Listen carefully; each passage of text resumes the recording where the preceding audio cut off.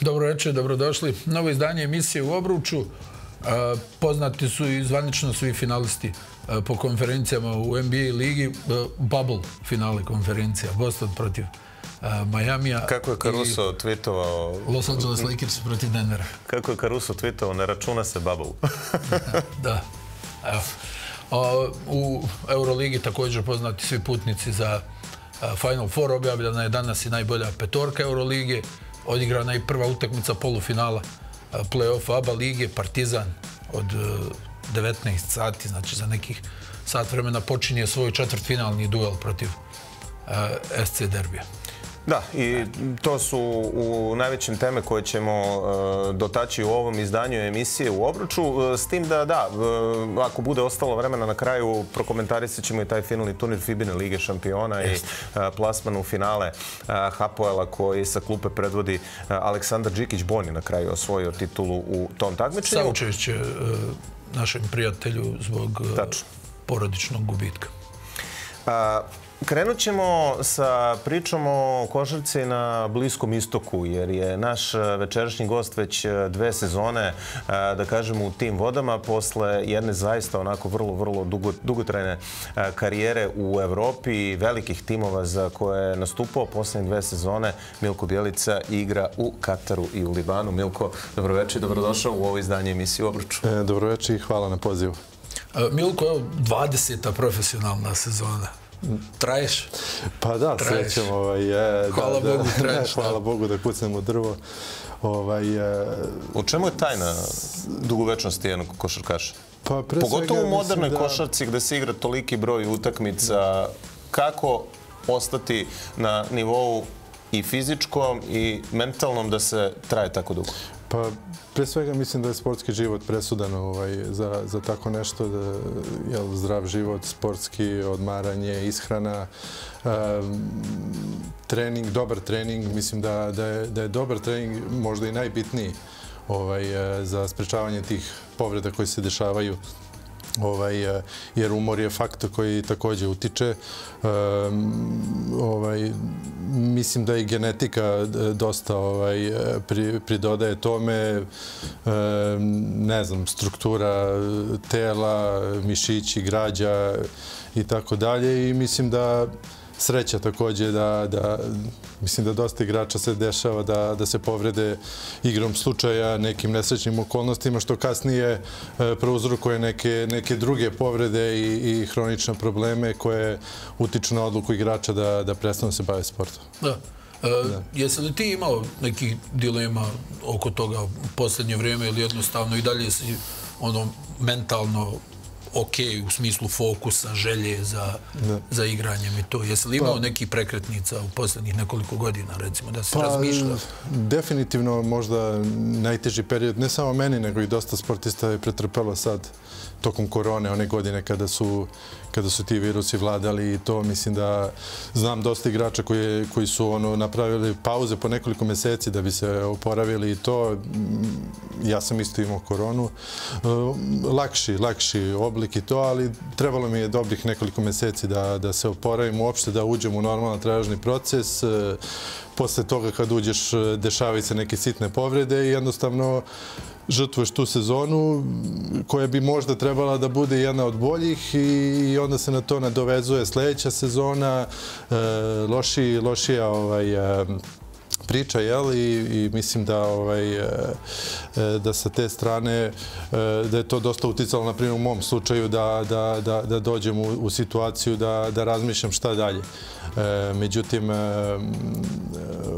hvala Bogu pa sam procenio da, da i dalje mogu i da, da, da, da želim i želja je presudila da, da nastavim da se bavim ovaj košarkom. Do duše, E, ne u Evropi, ne na najvišem nivou, ali e, košarka se igra jel, svuda u svetu, tako da, da ovaj, e, svako ima svoju priču jel, i nigde nije lako igrati na kraju krajeva. Ka kako se donosi takva odluka? Ti si igrač koji je imao onako zaista jako lep CV kada se pogleda i igrao si za neke zaista sjajne evropske klubove i u i vrhunskim takmičenjima, veliki broj evroligaških sezona. Kako se donosi odluka da se ode na Bliski istok? Jer e, nije puno ljudi u ovde generalno gledano podneblju gde se prati košarka upoznato sa kvalitetom, naročito nacionalnih liga što se tiče tih zemalja. Da. Pa e, ja nisam bio upoznat dok nisam ovaj prvi put ovaj e, otišao. Jednostavno kad si igrač e, sagledaš ponude pred svega koje imaš i doneseš odluku zajedno sa porodicom jel, koje, koje u braku, ko nije, neko s roditeljima i tako dalje, prijateljima. E, definitivno u tom trenutku e, sam mislio da je to najbolje za mene i, i, i mislio sam da jednostavno u mojim godinama da, da nije realna priča da i dalje igram Euroligu ili ne znam ni ja neke e, vrhunske evropske klubove. E, I donao sam odluku i mislim da sam uradio ovaj, e, dobru stvar i e, stvarno evo zadnje, zadnje dve sezone imam divno iskustvo i igračko i životno i i ovaj e, tako reći da sam ispunjen što se toga tiče. E, Liban je, hajde, to, to znamo stvarno. Liban je tamo ozbiljna priča bio što se tiče košarke, naročito ta klubska njihova e, scena. Mislim da su i kao reprezentacija, ako se ne varam, bili su 2010. na na, na svjetskom prvenstvu, ali e, onako tu je bilo klubova i, i sa ozbiljnim strancima, je li tako? Da, NBA zvezde tako, i, da, i dalje. Onako, o, onako ozbiljnih igrača je tu prodefilovalo, Beirut je bio prepun u jednom trenutku.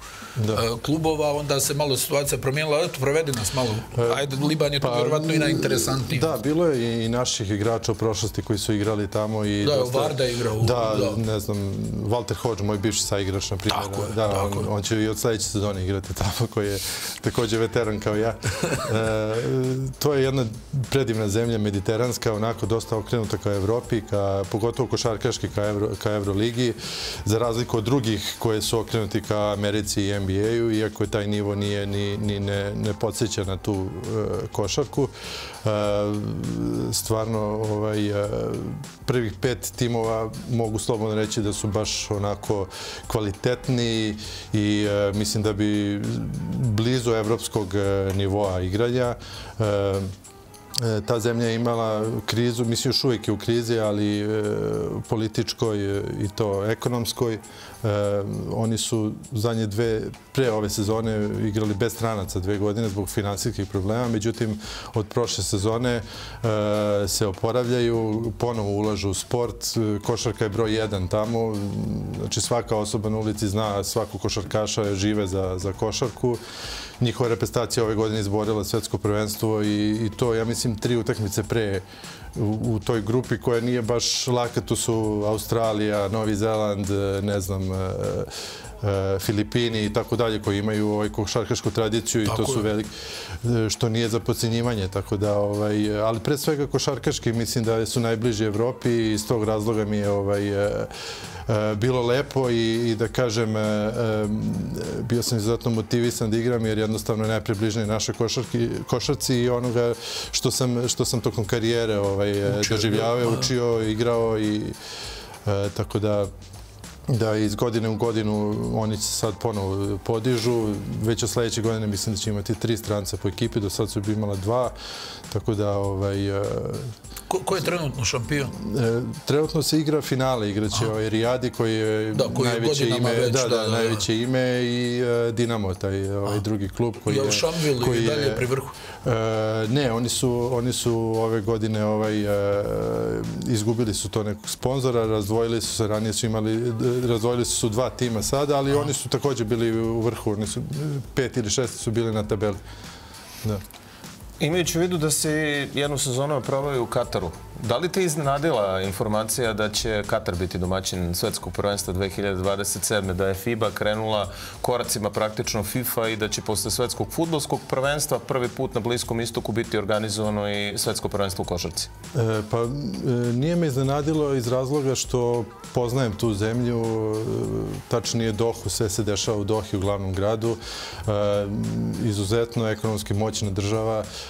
Eh, izvarena infrastruktura, eh, što se tiče košarke, eh, njihova reprezentacija nije u najboljem stanju trenutno. Mislim da oni igraju drugu diviziju tamo u tim kvalifikacijama, ali definitivno ovaj, drže to, ulažu. Također imaju 3 na 3 koji dosta ulažu novca.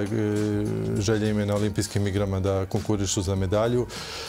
Tako da nije me iznenadilo i mislim da će biti odlični domaćini svetskog prvenstva. Da li je to, uh, eto ti iz prve ruke verovatno znaš, da li je uh, to stvar nacionalne politike, pošto oni su u sportovima gde je to moguće, kao što su recimo rukometi i odbuka. Sa rukometom su i počeli, mislim, u organizaciji svetskog prvenstva. Da, oni imaju osnovnu medalju, mislim, srebrnu na svetskom prvenstvu. Jeste, jeste, jeste. Angažovali su dosta igrača iz nekih drugih zemalja. U odbojci, recimo, nekoliko igrača sa ovih prostora igralo za Katar na posljednjem svetskom prvenstvu koje je organizovano u Poljskoj. E, znamo da imaju jedan od najmodernijih e, centara za razvoj atletičara, da je Muta Zeza Bršim napravio sve to što je napravio u skoku viz. Da li je jednostavno to nacionalna politika Katara da se toliko ulaže u sport? E, pa, definitivno oni imaju tako neku drugačije funkcioniš nego kod nas. To je sve na nivou opštine, da svi klubovi postoje sportska društva, timovi koji se nazivaju, svako ima svoj naziv i i oni ovaj, iz tog eh, svog opštinskog društva crpe eh, financije i finansiraju svoje sekcije, tako reći imaju imaju futbal, košarku, futbal je na broj 1, futbal, košarka, rukomet, odbojka, svi oni, svi ti klubovi imaju te svoje podklubove, tako da kažem, koje finansiraju i sad zavisi iz godinu u godinu ko ko ima veće ovaj, e, financije, on napravi bolji rezultat. Mislim da u klubskoj košarci Al Sad je već nekoliko godina dominantan. E, oni su od uvek dovodili ovaj, e, evropske trenere e, iz Grčke, iz Srbije također. Ovaj, tako da oni su tu u vrhu, a također i drugi klubovi ulažu zavisno iz, od sezone do sezone.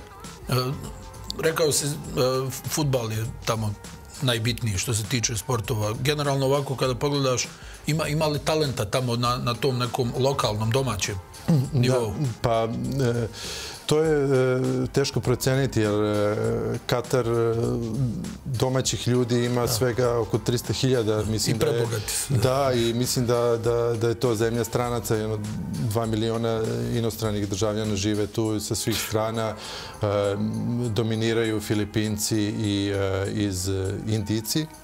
Ehm, oni, košarka nije toliko izreklamirana, marketički ispraćena da tu su prazne hale, nije to na nivou, jednostavno to se, to se sve završava na tim nekim e, e, praznim salama, jel, utakmice gde se ovaj, e, održavaju ta prvenstva, po dva kupa bude pred sezoni posle i to je otprilike na tom nivou. Sada, kada, kada bude svetsko prvenstvo, to će doći ljudi sa svih strana da gledaju, to će izgledati velelepno, ali e, verovatno će njihovu reprezentaciju da prate, ali nije to toliko popularno ovaj, kao što je recimo futbal ili u nekim drugim zemljama. Jel, kako... Je li ima publike na futbalu? E, pa bude ono, ali sve zavisi u koje vreme se igra, jer, e, na primjer, od sad, od ovog meseca pa tamo do septembra, su izuzetno velike vrućine i to je baš teško ovaj, ispratiti. Pri, Pričao, razgovarao sam sa nekoliko futbalera također koji su igrali i u Kataru i u Sadijskoj Arabiji. To, to je ono baš su teški uslovi i iz tog razloga ono e, manje, manje navijača. Nemaju oni tradiciju kao mi da imaju verne navijače i to koji prate. To je više onako privatno ovaj, e, i e, neke pojedinačne organizacije navijanja. Da, da. uh, hajde sad malo da e, se pozabavimo i ovim e, aktualnim e, temama u smislu utakmica koje su igrane u ovom nekom proteklom periodu. Crvena zvezda i budućnost su počeli svoju seriju polufinala play-offa. Zvezda je neočekavno ubedljivo dobila taj meč. Koliko god da je bilo uluzi favorita pred start ove polufinalne serije, nije se baš očekivalo da će ekipa trenera Duška Ivanovića dobiti budućnost sa 40 razlike. Zvezda je odlično šutirala, dobra energija i u defanzivi i jednostavno budućnost nije imala pravi odgovor u e, ovom meču. E, krenut ću od e, nečega što je stvarno čudno, ali se dešava u ABA Ligi evo već drugu sezonu uzastopno. Sljedeće utakmice za 9 dana. Iz perspektive igrača je li to dobro ili loše? Kada krene play-off, nekako svi smo navikli da se utakmice igraju na 2-3 dana, ovako velike pauze nemamo čak ni dok traje regularni deo sezona. Pa, definitivno e, mislim da nije prednost da, da igrači kad uđu u sistem play-offa da, da je mnogo, mnogo bolje za svakog igrača da, da, da, da igra e, na nekoliko dana utakmicu, ali poznavajući rad Duška Ivanovića, e, bivšeg trenera, mislim da je za njih to čak i, i dobro, jer znam Duška kako radi, da je sve to besprekorno i, i mislim da, da, da Zvezdi također ovaj, znači ti treninzi i ne čudi me ovaj rezultat jer ne sumnjam da, da su trenirali dobro i da su iskoristili ovo vreme da se spreme ovaj, pre svega i fizički i posle ovih iscrpljujućih utakmica u Euroligi gde je ta putovanja, e, mali razmak između, između, između utakmica da im je sigurno značila ova pauza i, i što se vidi na ovoj utakmici. Milko, ti si, kako si sam rekao, sarađivao sa Duškom Ivanovićem u ekipi Baskonije. Igrali ste naravno Euroligu, pa da malo ispričaš i za naše gledalce kako je to izgledalo. Mnogi su onako bili pa da kažem, uplašeni kada je Duško potpisao za zvezdu, kakvi će treninzi da budu, šta će da bude, ali on se definitivno, ja bih rekao, u odnosu na taj period, e, Baskon je vjerovatno i malo promijenio? E, pa da, pre deseta godina je to već, već duži period, pogotovo u savremenoj košarci iz godinu u godinu su primetne razlike, ne od pre deset godina i Euroliga ima drugačiji format i sve to, tako da, da, da mislim da su se svi treneri koji, koji su ostali na visokom nivou adaptirali, prilagodili, promenili sistem, e, sve to dosta drugačije nego, nego ranije, ali mislim ja sve najbolje mislim govorimo o Ivanoviću. Šta je ono? Meni individualno mislim da mi je značilo dosta, da, da sam mu zahvalan što me i angažovao tada da igram za, za Baskoniju i, i e, jednostavno to je jedan e, profesionalni, strogo onako profesionalni rad e, gde, gde se sve zasniva na na onome što se dešava u hali, jel, na, na treningu, na, na, na toj hemiji i ovaj, e, definitivno u to vreme, prema što sam otišao, dosta je bilo raznih klasina i tako dalje, što mislim kao u svakom sportu i svakoj sferi, bilo kom poslu ima, postoji. uvijek neko doda Da, da, uvijek nešto se priča, da, ali kada to doživiš, u stvari, pogotovo sad iz ovog ugla, posle tog perioda, jel, realno, na, na kraju sam karijeri, sad kad mogu da sagledam, mislim da je, da je to bio jedan od eh, najkorisnijih i najboljih perioda u mojoj karijeri i, eh, i mislim da ovaj, da, da, da, da svakom igraču bi preporučio da, da, da to prođe. Mislim da to mnogo znači i ovaj, sve, sve najbolje, naravno. Mislim. Šta, šta je bitno kod, kod eh, trenera Ivanovića? Šta je ono na čemu on najviše insistira? Pa mislim da je on, to, to nema mnogo mudrovanja i tako. Mislim da prvo treba da budeš na nivou na treningu, jel, da, da sve to, da disciplina, ponašanje uh, na terenu i van terena također. E, i mislim da ako se pridržavaš toga i ako, ako imaš ambiciju i želju da, da uspeš, e, mislim da tu nema nikako, nikakve prepreke u saradnji sa takvim trenerom. E, poznata je njegova saradnja sa Argentincima i Eto, Vildosa je potpisao pre nego što je došao Duško Ivanović, ali e, Kampaco je došao tokom njegovog boravka tu i nekako je utisak da su to dva igrača koji vuku najviše, odnosno na kojima u velikoj meri zasnovana igra Crvene zvezde u završnici sezone? Ehm, pa, meni je žao što Kampaco nije mogao da da igra da, od početka. Mislim da bi to sve bilo drugačije, da je radi svojim izvarednim igračima. Igrao sam protiv obojice. E, mislim da su odlični. E, generalno, e, argentinska škola košarke je slična našoj. Tada u Baskoni sam igrao sa Priđionijem, sa Noćionijem, sa kojima sam i dalje ovako prijatelji u dobrim odnosima i stvarno smo imali odličnu saradnju i i, i mislim da su vrhunski profesionalci, imaju neviđen karakter, takmičari i ovaj, pošteni momci koji koji sve to rade pošteno i tako im se i vraća na teren. E, posle jednog ovakvog poraza, ok, ima 9 dana budućnost da zaboravi. Kako kaže ono u play-offu, kolika god je razlika i da je jedan razlike i da je 40 razlike, to je samo jedan nula u pobedama. Ali na osnovu svega viđenog u prvoj utakmici, kako ti procenjuješ šanse budućnosti da za početak vrate u seriju u Beograd na odlučujući treći meč? Pa definitivno u sljedećoj utakmici će e, to izgledati drugačije.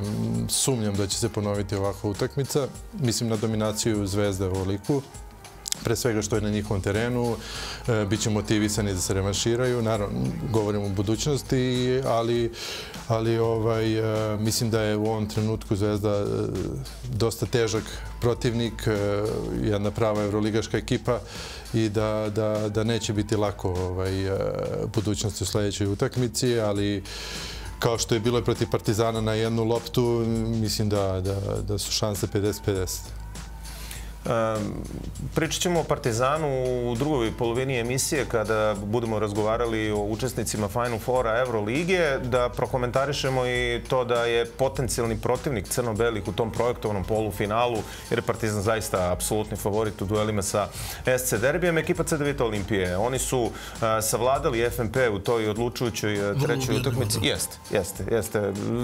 Čak je to mnogo ubedljivije i mnogo lakše izgledalo za ekipu CDVita Olimpije Olimpije nego što je to bio slučaj u e, prvom meču koji je također u Ljubljani ova ekipa uspela da reši u svoju korist. E, ajde da e, kroz priču o CDVita Olimpiji se dotaknemo i tog eventualnog polufinala sa Partizanom. Koliko je tačno ono da u sportu postoje ekipe koje ti naleže, pošto je CDVita Olimpija recimo u proteklih nekoliko sezona uspevala da, naročito u Ljubljani, pomrsi račune Partizanu, uspevali su čak da ih dobiju i u Beogradu? Pa mislim da je CDVita Olimpija dosta kvalitetna ekipa. Oni su promenili trenera tokom sezone. Mislim da to nije lako, ovaj, pogotovo na polusezoni dolazi trener, mislim da je pomoćnik da nastavlja saradnju. Mislim da je to teško i posle svega toga mislim da su se oni digli da čak po meni igraju i bolje nego e, prvi deo sezone. E, definitivno čvrsta ekipa, e, ambiciozna, neće biti lak protivnik. Naravno, nijedna ekipa sada nije lak protivnik. Svi svi igraju, pogotovo u play-offu, su ekstremno motivisani, znaju da se bliži kraj sezone, da da, da motivisano, ekstra motivisano igraju i, i mislim da neće biti problem jedino u slučaju da Partizan bude taj drugi ovaj, polufinalista. Mislim da, da, da jedini problem Partizan može da bude sam sebi jer posle ovakvog e, Final Fora, ovaj, gubitka tog e, plasmana Final Four, mislim da je to psihološki ovaj, može da bude dosta teško ovaj, poznavajući sličnim situacijama sam bio u karijeri, tako, ali ne sumnjam da će Željko to da, da, ovaj, eh, da, da restartuje ekipu, jel, da ih eh, usmeri ovaj, eh, najbolje što može. Predlažem da sada napravimo tu pauzu za reklame i onda Milko je na neki način dao i uvertiru u ono što će biti prva tema kada se vratimo u studio, a to je pre svega ta odlučujuća peta utakmica Real Madrida i Partizana, a onda nakon toga i diskusija o preostalim učesnicima Final Four. Ponovo smo u studiju emisije u Obruču, naš večerašnji gost e, Milko Bjelica. E, dakle, Partizan i Real, e, jedna od najboljih playoff serija u, u novijoj istoriji Euroligije, svakako u, u konkurenciji od kako je ovog formata i playoffa uh, u, u četvrt finalu, sigurno top 3 koje su odigrane. Uh, Partizan imao sve u svojim rukama, vodstvo 2-0, ali ona tuča koju je isprovocirao Sergio Ljulj onda dvije pobjede e, Reala u, u Beogradskoj areni i peti meč kojem je Partizan prokockao 18 pojena prednosti. U stvari na 3 minute do kraja treće četvrtine tim Željko Obradović je imao plus 15. I, da, i posle, nisu, posle egzumuju trojke. Da, da, i nisu izdržali. E, Sergio Rodriguez je odigrao svoju najbolju utakmicu ove sezone u, u, u dresu Reala, završio je sa 19 pojena. On je uz, uz Rudija tu bio glavni kreator preokreta, naravno dobar učinak Tavaresa, Musa je ubacio 20 pojena, Hezon je on u jednu izuzetno bitnu trojku i Sergio Ljulj se pojavio Milko u ovoj seriji, ne samo sa, sa onim nekim svojim provokativnim potezima, za koji moram biti iskren, E, on, on to nekako nije radio u, u, u svojoj karijeri za razliku od Rudija, jel, koji je uglavnom prednjaču u tim nekim da. provokacijama i tako teško mogu da se sjetim da je Ljulj pa, radio takve mislim stvari. Mislim da je to bio e, jedna izliv nemoći u tom da. trenutku e, da su se oni osjetili poniženim jer nije lako, mislim, razumijem to, jedan veliki klub koji njima nije, nije to e, dozvoljeno da... da Gube dvije kuće za redom. Za, njih, za njihova shvatanja od nekog partizana koji bez obzira što ima fantastičnu ekipu, oni su smatraju da je kraljevski klub, da to njima ne smije da se dogodi.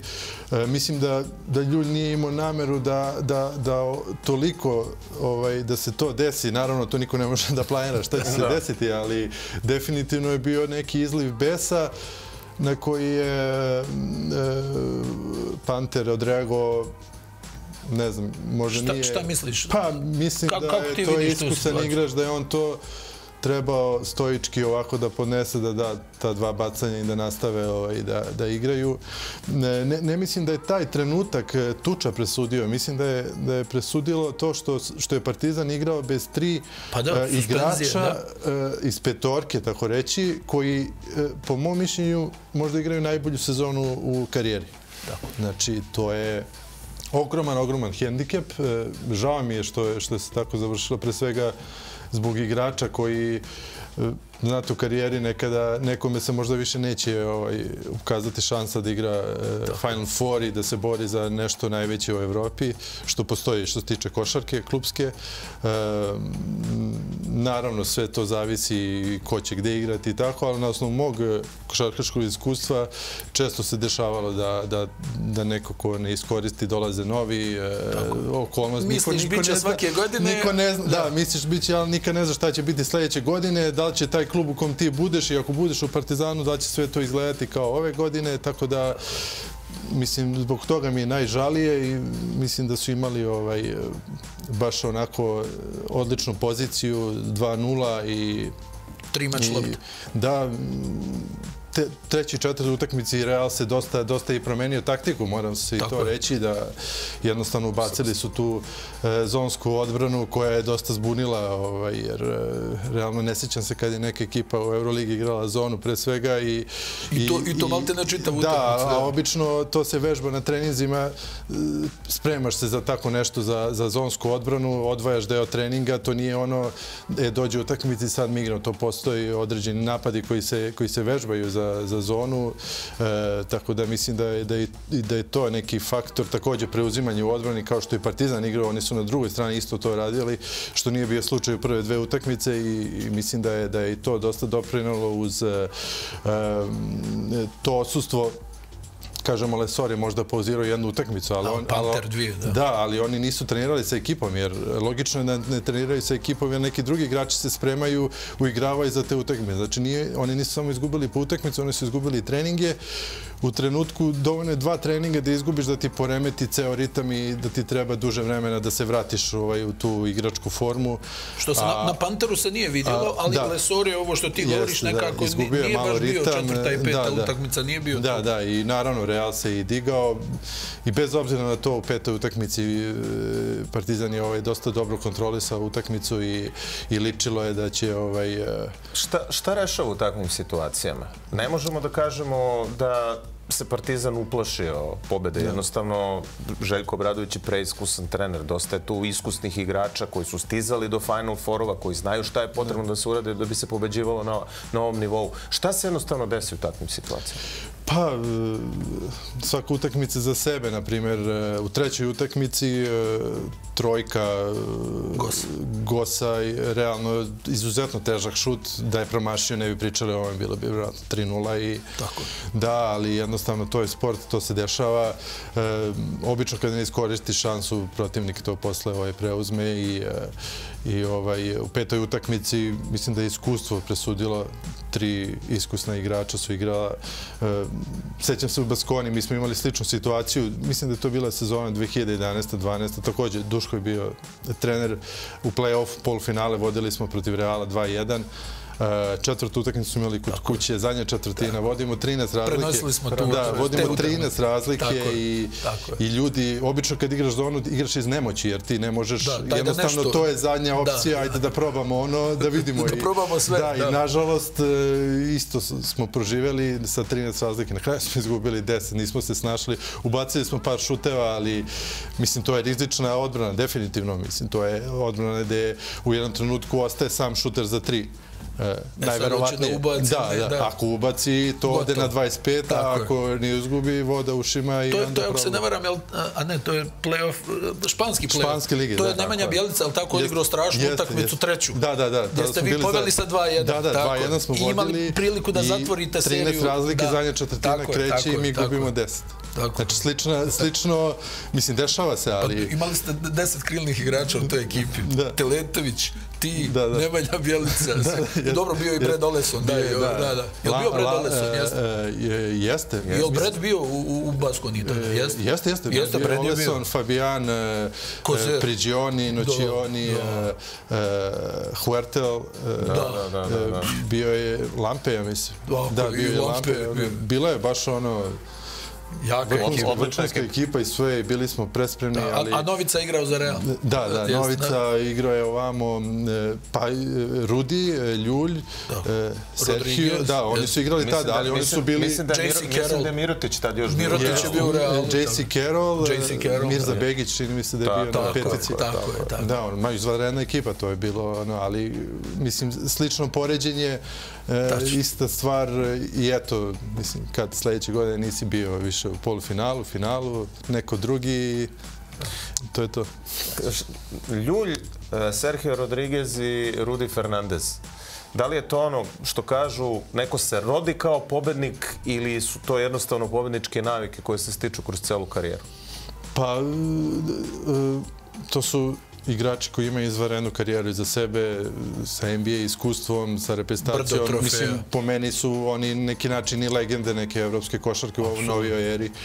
Uh, ovaj, također i ljudi uz njih, e, ovaj, ali definitivno e, iskustvo je presudilo, imaju u rukama i nogama bezbroj ovakvih utakmica, e, ne odustaju. ne odustaju, imaju taj naboj, pogotovo kad igraju za tim koji vole, u kojem su prihvaćeni, u kojem ovaj, su tretiraju ih kao legende i uz, i uz strance koji dolaze.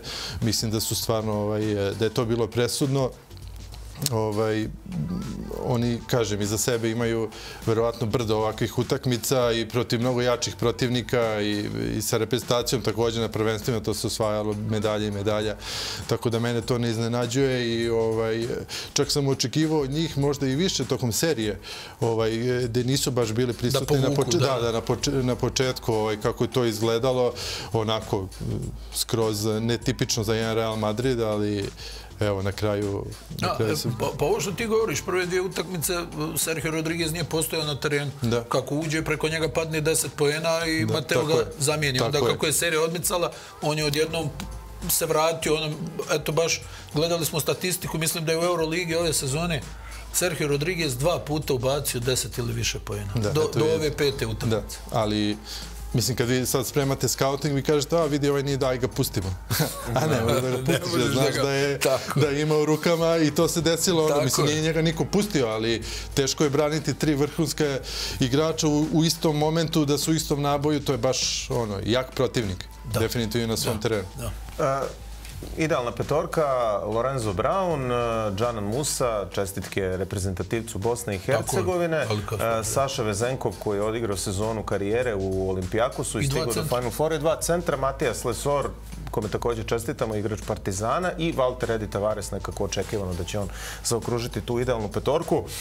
Monako, istorijski plasman na Final Four, prošle sezone im je to izmaklo u petoj utakmici u Pireju, sada su uspeli da dobiju Makabi u petoj utakmici kod kuće. Što znači domaći teren? Da, evo, svi domaćini su dobili te pete utakmice i sada ćemo imati polufinala Euroligi u kojima ćemo opet gledati El Clasico Barcelona i Real Madrid i Olimpijakos i Monako u Kaunasu. Kako ti vidiš rasplet u Euroligi?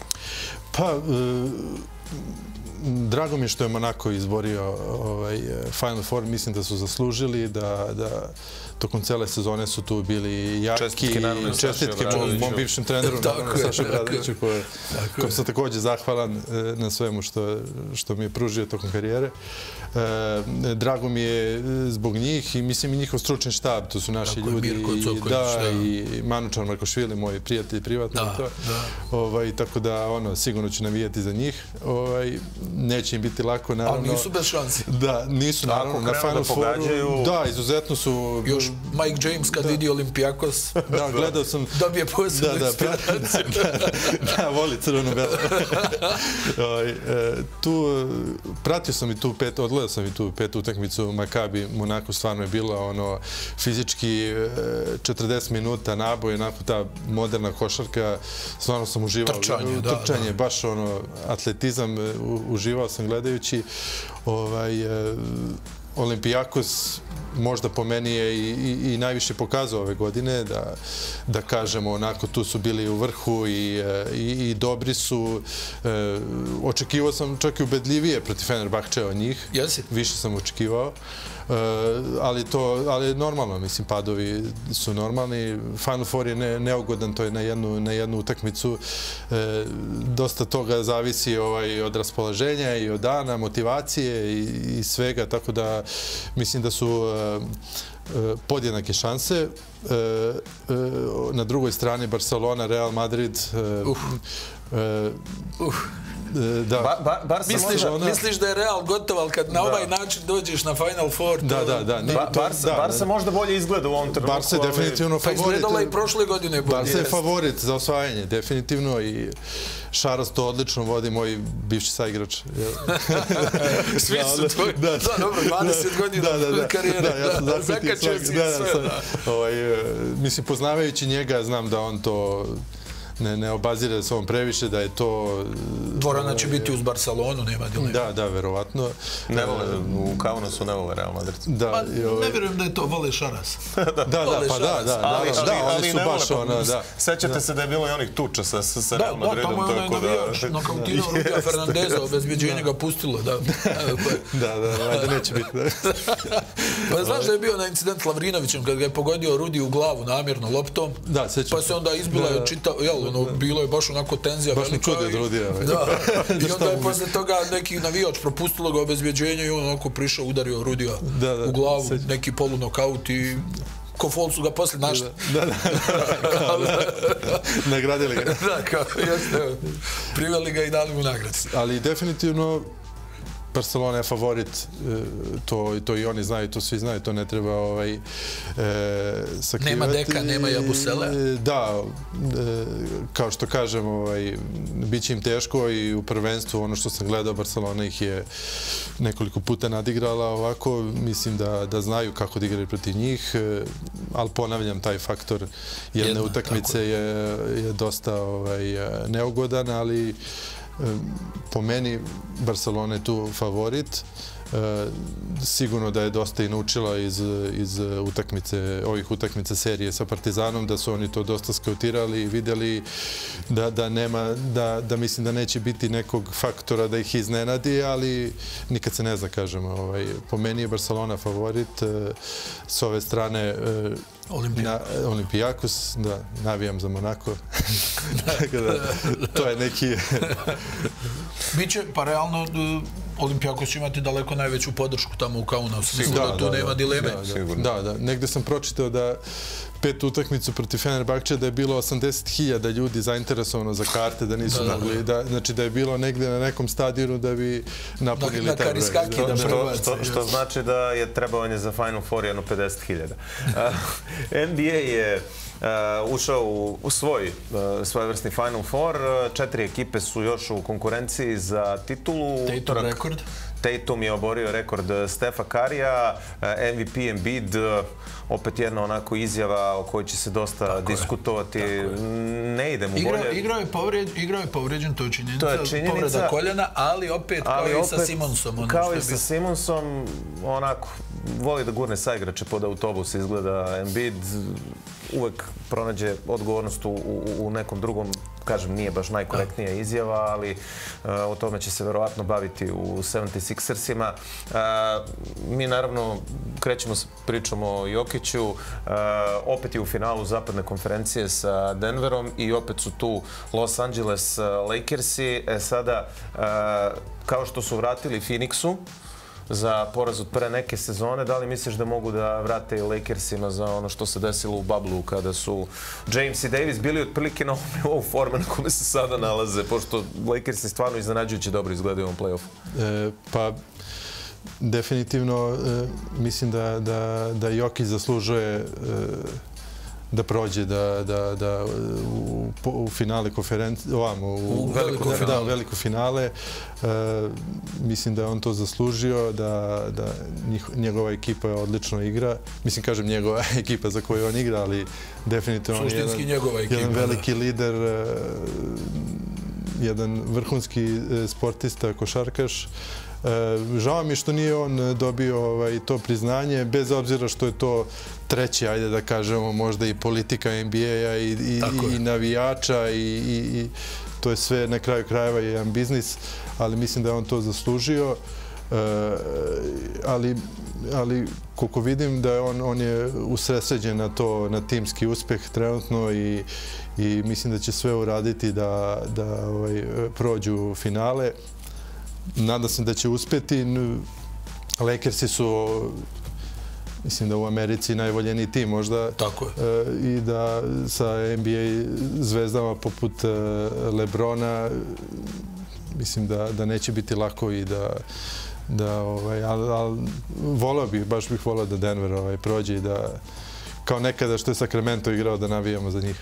A Boston sa druge strane ponovo protiv Majamija. E, Miami je evo, sa Jimmy Butlerom koji je stvarno odigrao nenormalno dobro ovaj playoff, ali, ali Miami sa Milko koji, koji sa osmog mjesta izbaci prvog nosioca Milwaukee pa sredi i New York Knicks-e imaju pet igrača koji uopšte nisu draftovani u svom sastavu. Ovaj Highsmith je prošle sezone igrao za Marlinse u, u Njemačkoj i evo ga sada daje doprinos pa, u play-offu. Stvarno to Miami nekako uvijek uspije da od ovih igrača što niko drugi u njima ne vidi neku korist da naprave ne. funkcionalne igrače. Oni da. su pravi tim. E, pa NBA tokom sezone i, i, i u, u toku play-offa su dve različite priče totalno i mislim da zadnjih godina posmatrajući te utakmice i to e, to je i razumljivo da, na primjer, neka ekipa koja sa te pozicije pobedi prvu, da, da, da nije realno kad dođe play-off, da je to skroz drugačija priča i da je mnogo kvalitetnija košarka.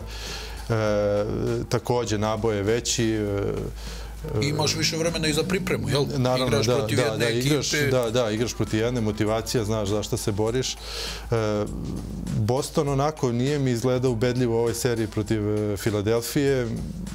Očekivao sam tu mnogo, ovaj, oni su se ono... Ali oni vole teži put. Da, da, da. da gume 3-2. Bili su blizu čak i ispadanja. Jesu, jesu. Baš na par lopti je bilo. Reci iz igračke strane, recimo Tatum u toj šestoj utakmici protiv, protiv Filadelfije na gostovanju. Šutira jedan od 13 do četvrte četvrtine i onda veže četiri trojke i prelomi meč. Da. Pa, e, to su ti... E, to su šuteri, ono, nikad ne znaš. E, uglavnom, e, mislim, nagledao sam se toga u karijeri, jer jednostavno to je glava, e, mentalitet... Kratko pamćenje. Da, to je glava, mentalitet koji, koga, koji se ne uzbuđuje previše, jer je naučen i, i, i, i sam sebe trenera da tako igra. Mislim da da dobri šuteri posle prve ubačene često, često dobiju neki podstreh i, i, i osjećaj da vežu još ovaj, nikad neću zaboraviti, e, možda se i ti sećaš, to je u Euroligi, Mirza Teletović, na primjer, one sezone u Kaunasu, one maloj sali kad je igrao protiv Žalgirisa. Kad su mu pravili problem za ulazak, je li tako? Da, tako nešto bilo i, i, i utakmica je krenula i on kreće airball. Mislim, svaki igrač kad krene utakmicu za promašenje celim košem, prvo ne razmišlja o što šutira više, nego ajde da, da, ajde da odbrana neki skok polaganja, da se vratim u ritav. A, na primjer, on je 9-9 vezao, toga, ili 10-9, ne mogu se sjetiti, bilo je nešto nenormalno i to je utakmica bila za prolazak, ono. Ili prolaziš ili ispadaš. Hoću da kažem da, da sa šuterima, ovaj, da je to ta glava, da da jednostavno koliko god da on promaši, on može da veže 5-6, tako da... I okrene utakmicu. Da, da, i da okrene, kaj je najbitnije. Da. E, dakle, u noći između utorka i srede, 2 sata i 30 minuta po centralno-evropskom vremenu, prva utakmica serije između Denvera i Los Angeles Lakersa. Naredne noći u istom terminu igraju svoj prvi meč e, finala Istoka, I, i onda Boston tako i Miami. Do, do finala. Na svaka dva dana se igra do velikog finala, čiji je početak zakazan za e, prvi jun. E, ostaće vremena da prokomentarišemo i e, Final Four e, FIBA Lige šampiona. U Malagi su svi očekivali reprizu finala Španskog kupa kralja.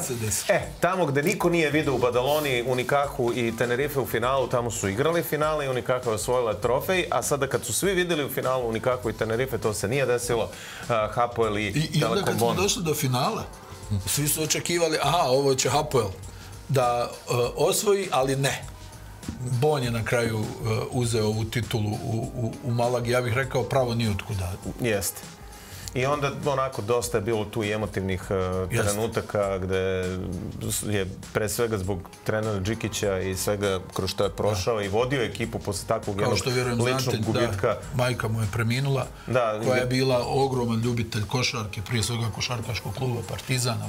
Mislim da gospođo bukvalno nije propuštala utakmicu. Tako je.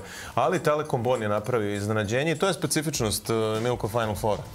E, pa pre svega saučešće Gile to ono e, težak moment za njega e, da u ovom trenutku i uopšte i da vodi ekipu, ovaj, kamoli da Da, ovaj, tako da sigurno svaka mu čas sa ekipom. Nje, e, mislim da je Hapoel čak osvojio i kup ove godine jest, u Izraelu. Da, da, da, I dobili su Makabi nekoliko da, da, puta. Da, da, Makabi i da, odlično ovaj, e, vodi tu ekipu.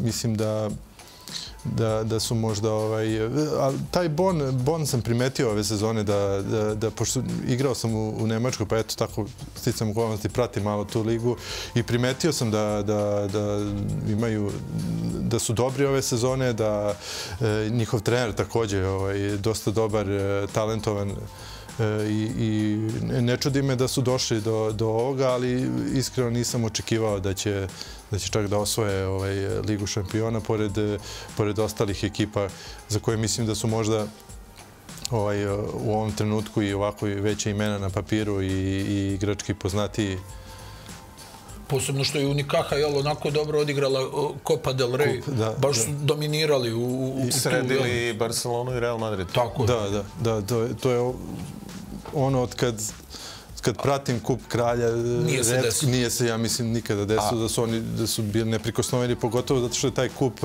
Ajde veliko takmičenje.